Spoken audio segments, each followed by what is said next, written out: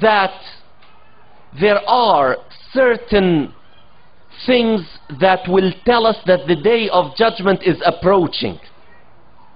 People ask Prophet Muhammad wasallam to tell them when will the hour strike? When will it take place? And we all know the account when Jibril alayhi salam visited the Muslims at the time of Prophet Muhammad sallallahu and he appeared as a human being dressed in very white clothes.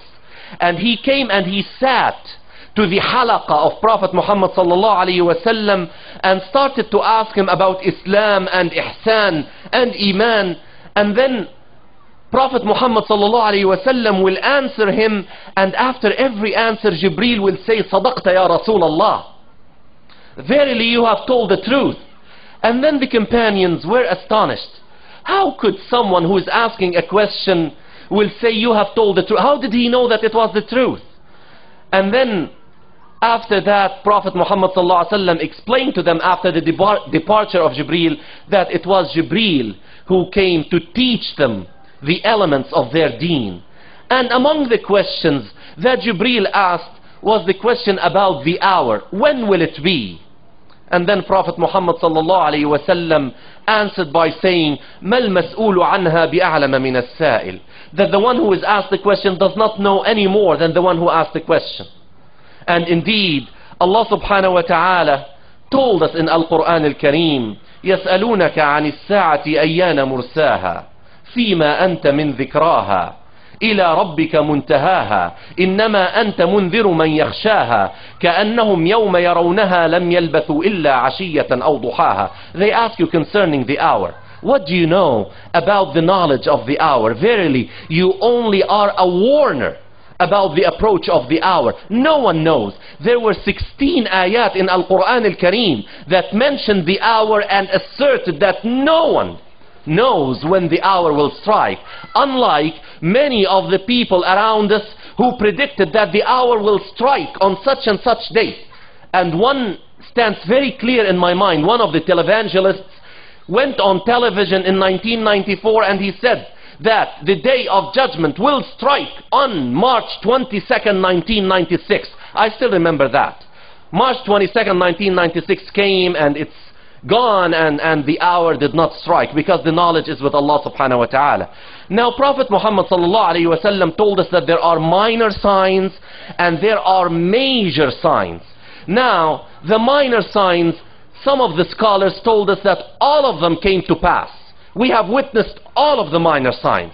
Now, the concern of this presentation is about some of the ten major signs of the approach of the hour. Five of those ten seem to be cosmic in nature. That they are related to certain happenings that are related to the cosmos. Certain universal happenings that will take place that will tell us that the hour is approaching and one of them is that the sun will appear from the west instead of the east. We have known that for years and years and years. And we were told that the sun will appear from the west as a sign that the hour is approaching. Now, again I remind myself and I remind my sisters and brothers that whatever I will mention from science that people really put as, as, as the, the absolute truth when we know it is not, but what we know from science is the following. What is happening is that the earth has been rotating around its axis since the creation of the universe. In the beginning, our earth used to complete one complete circle around its axis in four hours. It used to be very fast. And it has been slowing down since then. Now it completes one rotation around its axis in 23 hours, 56 minutes and 4 seconds. And scientists know that the speed is going to diminish the earth is going to slow down up to a point where it will not be able to support any more decrease in its speed. When that will happen, the earth will behave like a spring that you rotate in a certain direction up to a certain point when you cannot really wind it any further in that direction then if you leave it what will happen it will start to rotate in the opposite direction. And the earth is going to do that. That's what scientists tell us that the earth is going to slow and slow and slow up to a point where it cannot because of its mass slow any further.